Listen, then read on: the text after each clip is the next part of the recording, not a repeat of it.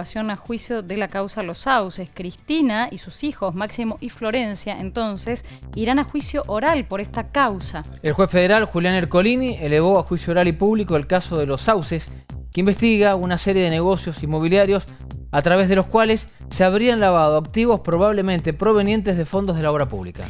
Estarán sentados en el banquillo de los acusados la expresidenta Cristina Fernández, sus hijos Máximo y Florencia, y también tienen que defenderse de las acusaciones Lázaro Báez y sus hijos Martín, Leandro, Luciana, y los empresarios Cristóbal López y Fabián de Sousa.